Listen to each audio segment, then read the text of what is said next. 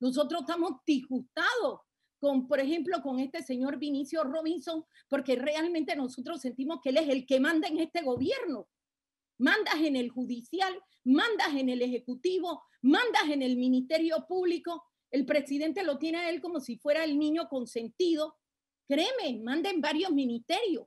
Y Vinicio, créeme, vamos por ti.